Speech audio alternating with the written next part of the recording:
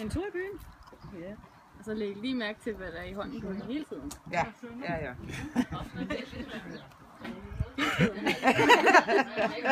Og hvis ikke er den, så er det den. Nå, der var mobilen kommet frem. Ej, hvor er du gyldig, altså.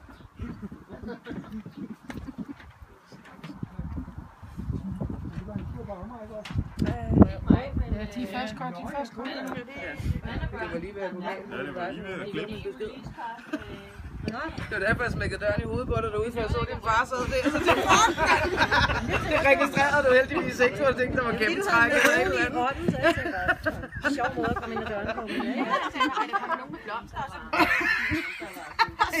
sagde det lige til mig. Jamen, min første tanke var, når der kommer en blomst, så må det være en gæst. Det var bare Ja, ja, lige at- præcis. Men er det var fordi, at vi skal jo til sommerfest, ikke? Ja, vi skal da have sådan Nej, det var det. Det var det. med. Ja, fik sat Det kunne være lidt kikset, hvis stod Hej, nå, ja. det er Ja, det går.